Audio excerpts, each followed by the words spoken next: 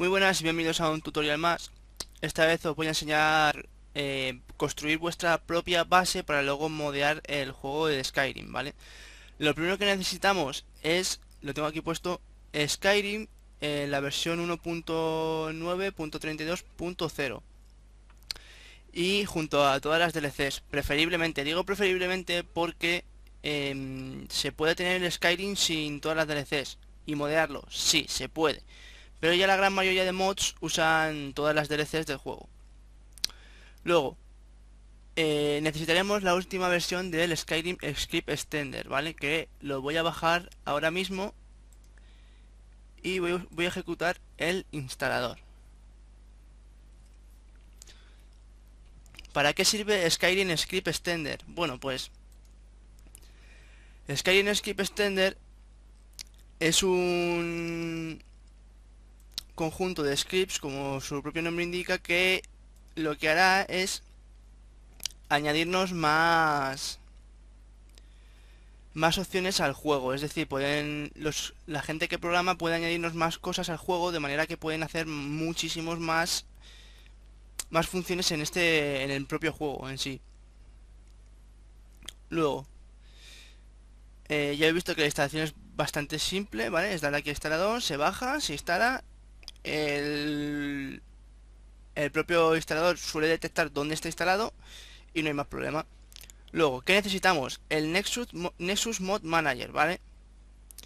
Que ese lo bajamos de esta página, ¿vale? nexusmod.com eh, Hay muchos más eh, mod managers, sí, hay muchos más mod managers Pero yo me apaño bastante bien con Nexus Mod Manager porque además la mayoría, la grandísima avalancha de mods o sea, la, que vamos a instalar, todos son por Nexus Mod Manager. Así que qué mejor que usar el propio Mod Manager que ellos nos facilitan. ¿Vale? Para bajarlo tenéis que dar aquí a Download Now y lo instaláis. No es como más o menos como lo otro, lo ejecutáis, se instala, te va a buscar el directorio de mm, donde tienes instalados los juegos. No solo Skyrim, sino todos los juegos que sean compatibles con Nexus Mod Manager. Ahora, vamos, ahora voy, a, voy a abrir el Mod Manager, ¿vale? Para que lo veáis. Eh, ¿Dónde está? Aquí.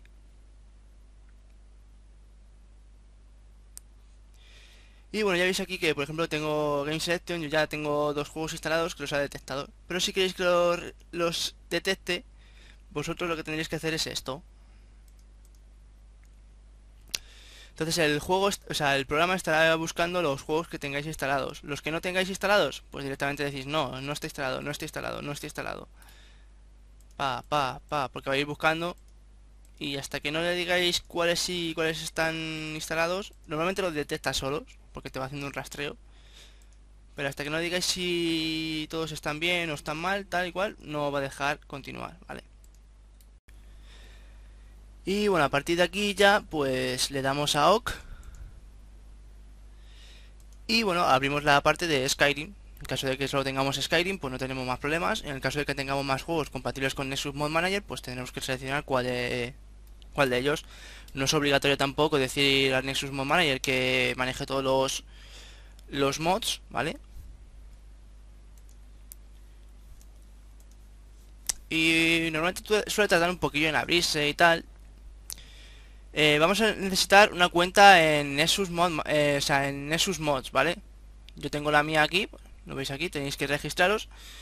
Es gratis, no hay ningún problema. Y bueno, es una...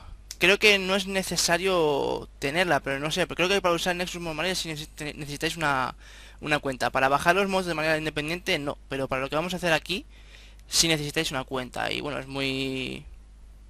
Es necesario, pero no ocasiona muchos problemas.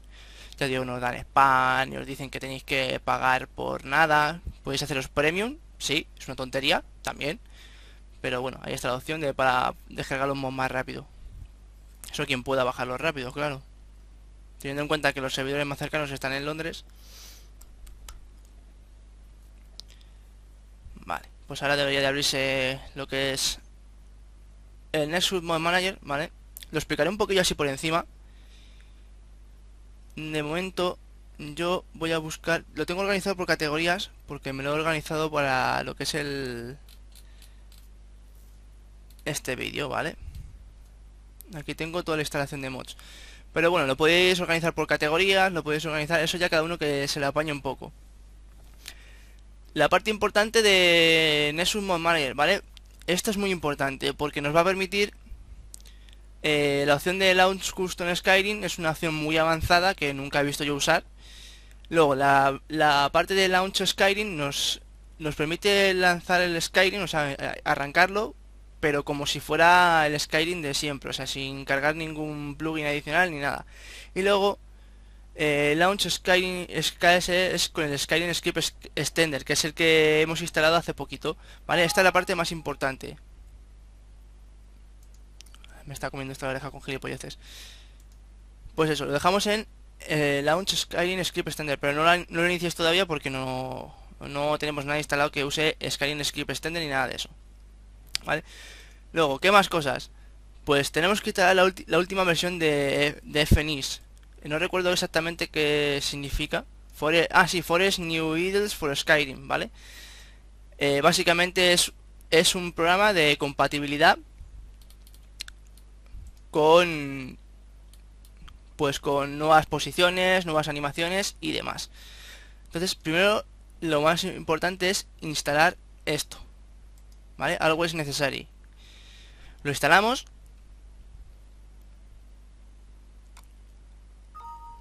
Y podemos añadir, vienen con otras dos cositas más, que es el, pack de criaturas y el addon para los, los conjuros. Addon for spells. ¿Vale? Este sí que lo vamos a instalar. Y la parte importante es que digamos que... Madre mía, macho, con el puto... Y bueno, como iba diciendo, instalamos el addon for the spells, que también va a ser necesario en algunos en algunos mods. El Creature Pack por ahora eh, no voy a instalarlo porque lo tengo por aquí por si acaso, pero lo dejo por aquí sin instalar más que nada porque es un digamos que es para compatibilizar las criaturas con animaciones nuevas, que es muy raro, ¿vale? Luego, ¿qué más cosas? El Sky UI, muy importante.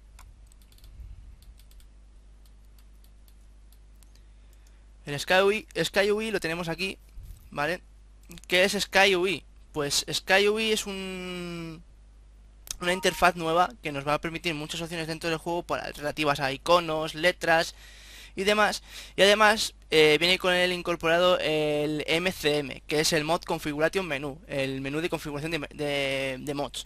Es, eh, digamos que dentro del juego es lo que nos va a permitir elegir opciones que el modder que haya creado el mod nos haya habilitado.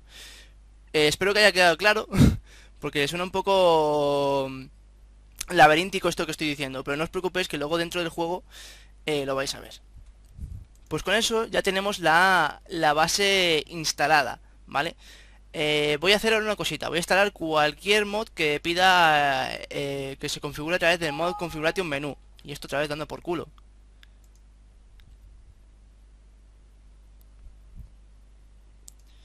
Vale, a ver si se calla ya y me dejan paz.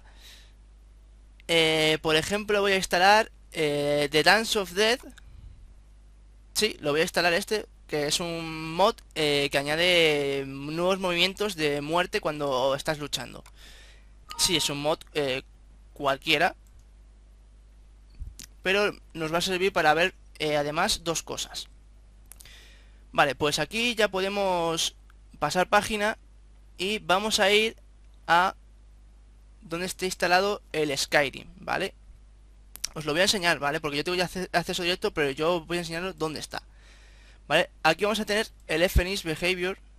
A ver si encuentro la página, la Tools y Generate FNIS for Users, ¿vale? Esta opción, esta herramienta es súper básica. Aquí hay mucha gente que la caga mucho por no usar el FNIS cada vez que actualiza cualquier mod de animaciones. Es súper clave. O sea, no usar esto es cagarla. Y bueno, tiene varios idiomas, tendréis que coger el español, no está del todo bien traducido, pero hace el apaño. Le dais a actualizar FNIS Behavior, ¿vale? Que es actualizar el comportamiento de Forest New Leaders for Skyrim y aquí va a analizar los mods que, los mods que tengáis instalados, los va a analizar, pam, pam, pam, pam, pam, y dará un resultado. Ahora mismo solo tengo instalado el que habéis visto que el mod que he instalado anteriormente y este es el resultado final. Nos da una advertencia, pero no os preocupéis que porque de una advertencia no significa que sea algo malo. Y ya no hace falta hacer más. ¿Vale? Fenix ha listado los mods que tiene y está funcionando con todos a la vez.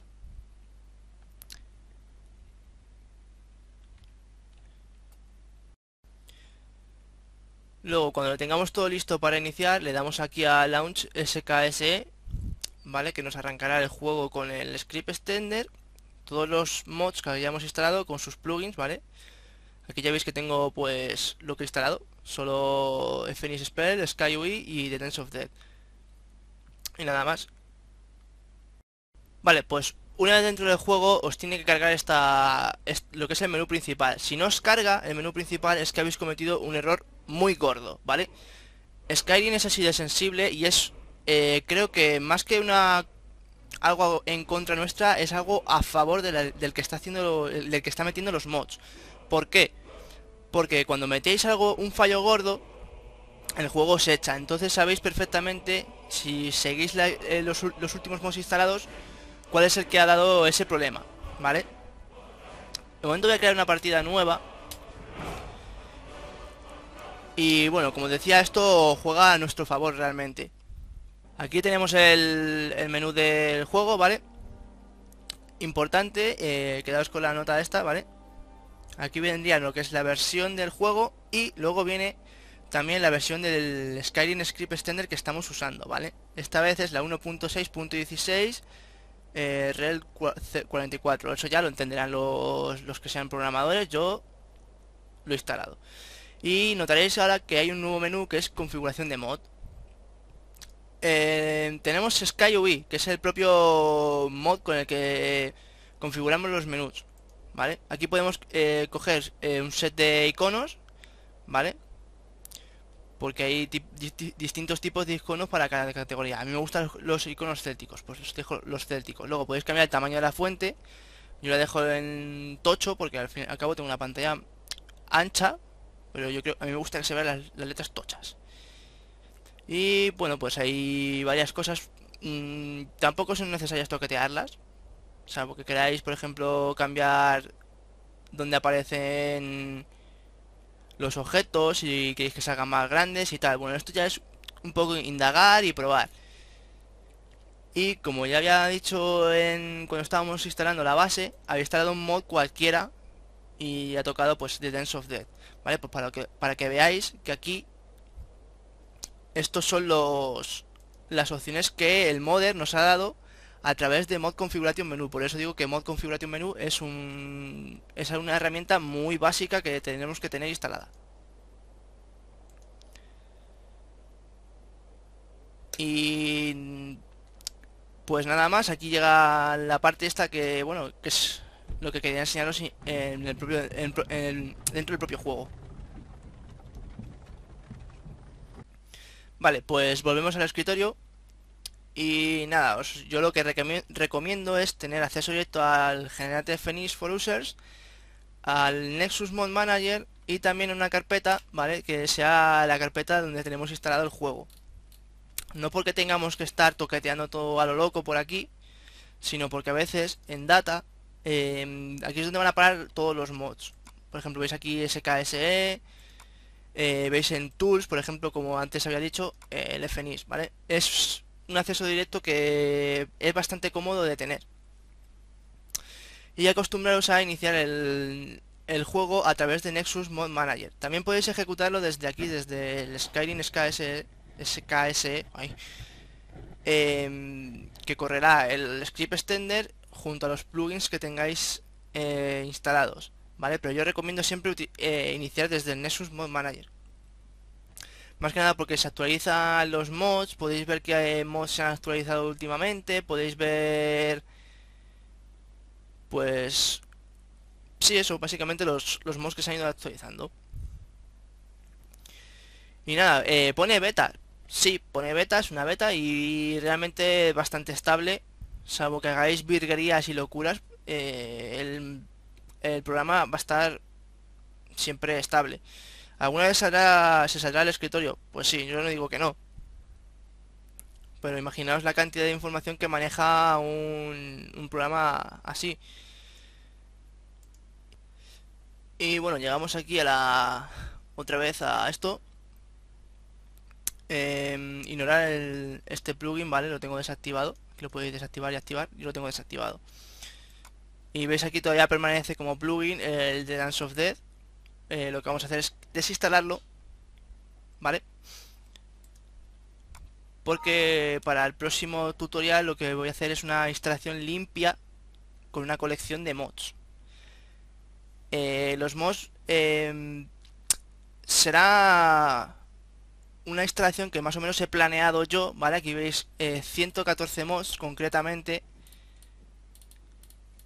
Mm, que nos darán un montón de cosas nuevas al Skyrim. Pero también os servirá de guía básica porque iré explicando un poco cómo hacerlo todo de manera organizada para que no el juego no explote directamente. O sea, podéis, si tenéis un ordenador muy bueno, eh, vais a disfrutar mucho la lista que he preparado. Si tenéis un ordenador más o menos decentillo, más o menos como yo, eh, vais a poder jugar bastante bien, le vais a añadir un montón de contenido al juego y no os va a cargar mucho. Pero por ahora lo vamos a hacer así. Y nada más, os veo en el próximo vídeo.